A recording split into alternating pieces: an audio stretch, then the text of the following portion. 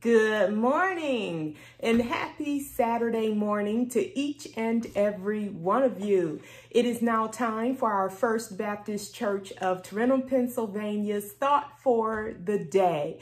And as we always do, we welcome the Holy Spirit's presence. We absolutely know He is in the midst of us and certainly He will be leading and guiding us through this snippet of God's Word. And on today, I'm excited because these are scripture texts that we are pretty familiar with, or at least the general idea of what happened in these texts. We have walked uh, to a place where Moses and Aaron are dealing with Pharaoh and trying to get the children of Israel uh, released from the captivity of the Egyptians. And so the very uh, first thing we did was we saw that the Nile River was turned into blood. And we learned from um, that particular scenario on last week to let God do the fighting for us. That was our thought for the day and prayerfully it stuck with us in some form or fashion throughout the week. Today we're moving to the second plague. The second plague is the plague of frogs. Now, as I mentioned last week, what I'm really excited about is what is going to be pulled from each of these events.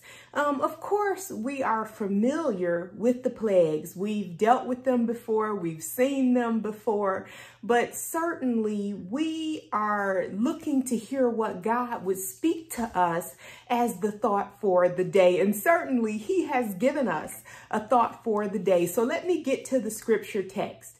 Today, we are going to be focusing on Exodus, the eighth chapter, verses 1 through 15. I know it's a lengthy reading, you guys, but there's no way to work through these scripture texts um, on the plagues without reading the entire text. It just doesn't make sense to do anything less.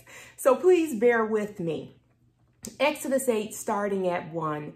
Then the Lord said to Moses, Go to Pharaoh and say to him, Thus says the Lord, let my people go so that they may worship me. If you refuse to let them go, I will plague your whole country with frogs. The rivers shall swarm with frogs. They shall come up into your palace, into your bed chamber and your bed, and into the houses of your officials and of your people, and into your ovens and your kneading bowls. The frogs shall come upon you and on your people and on all your officials. And the Lord said to Moses, Say to Aaron, stretch out your hand with your staff over the rivers, the canals, and the pools, and make frogs come up on the land of Egypt. So Aaron stretched out his hand over the waters of Egypt, and the frogs came up and covered the land of Egypt. But the magicians did the same by their secret arts, and brought frogs up on the land of Egypt.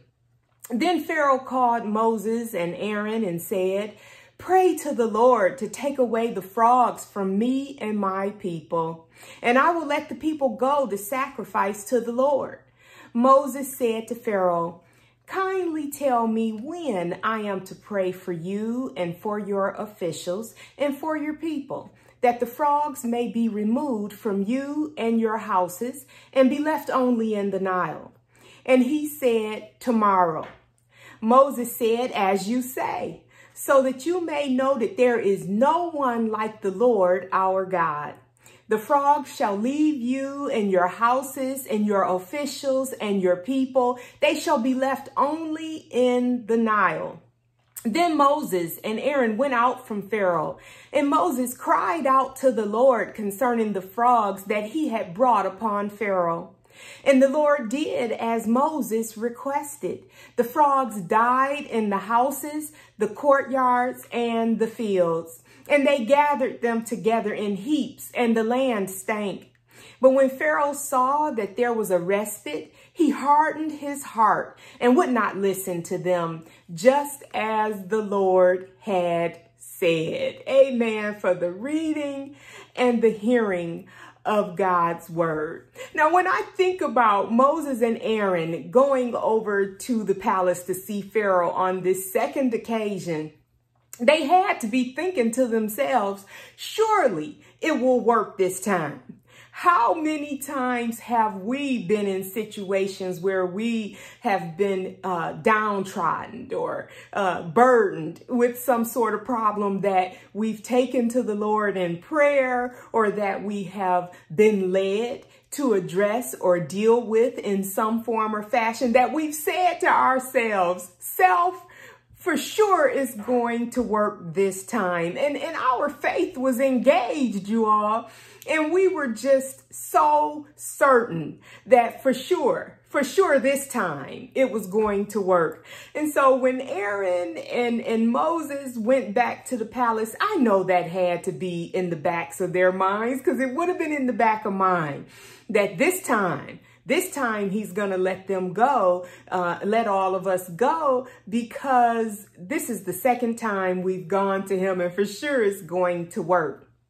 And so um, they did exactly what God told them to do. Let's never forget that our obedience is required that certainly if we expect a miracle, we have to obey like we expect a miracle. Can I just say that again? If we expect a miracle, then we need to obey like we expect a miracle. And so Aaron and Moses did just that. They did exactly what God told them to do. And Moses, as the leader, he directed Aaron to hold out the staff and he spoke the words that God had given him to speak. And assuredly, uh, the plague fell just as he said it would.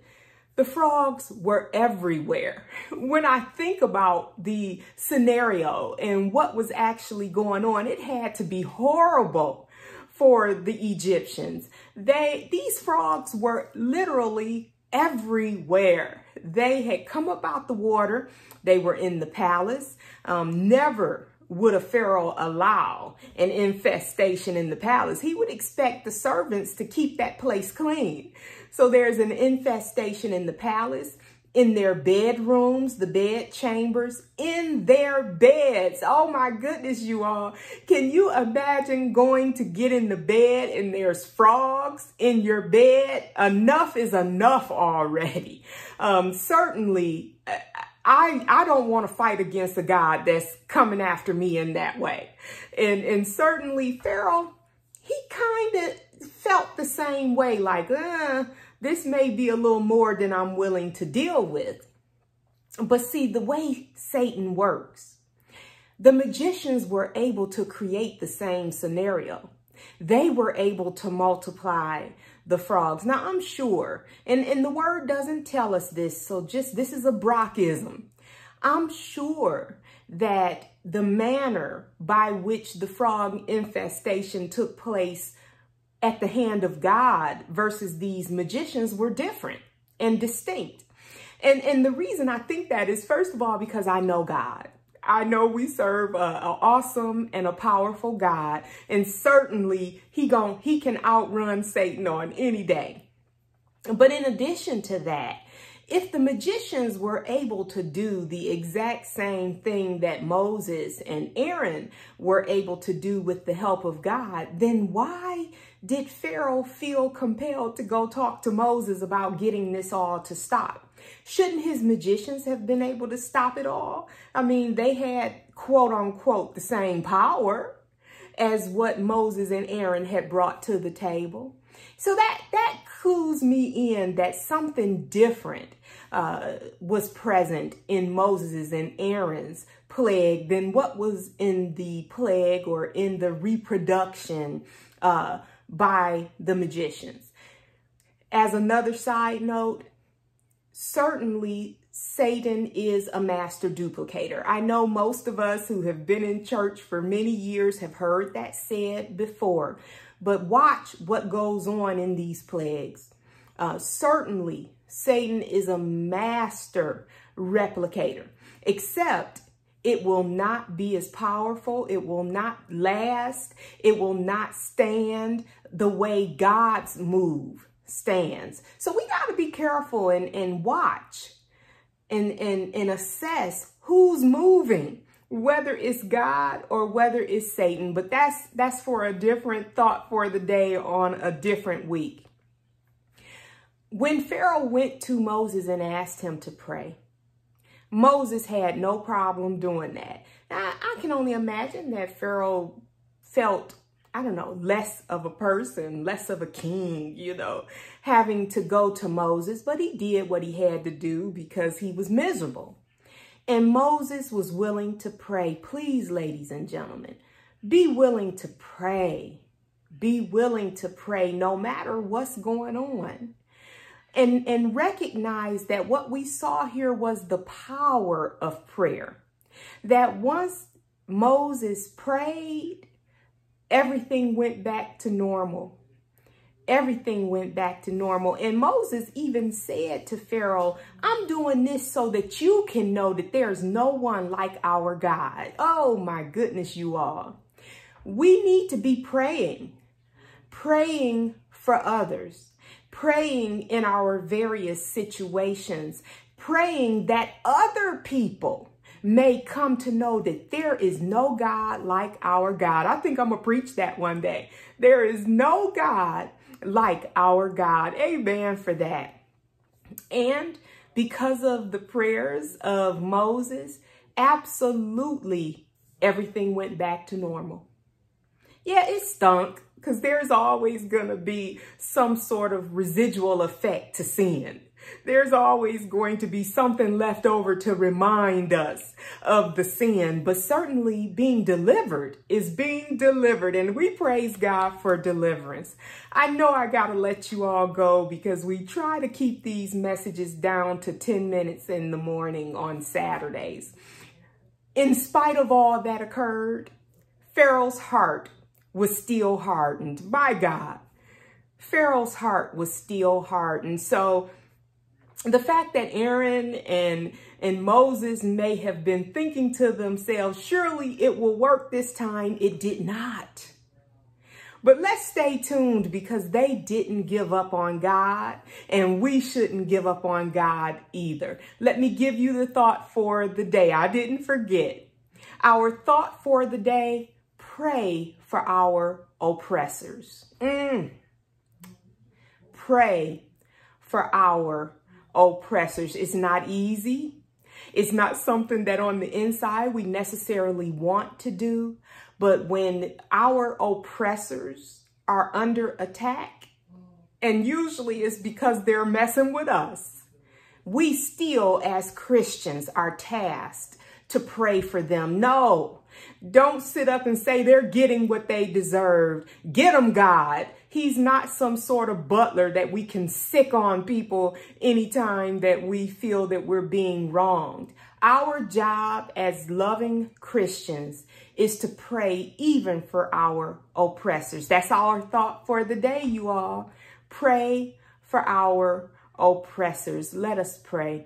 Heavenly Father, we thank you for this word this morning. We thank you that you have allowed us just one more week to learn from your word, one more Saturday morning to seek you through your word. We thank you for Moses and Aaron and Pharaoh and even the frogs on this morning. We thank you.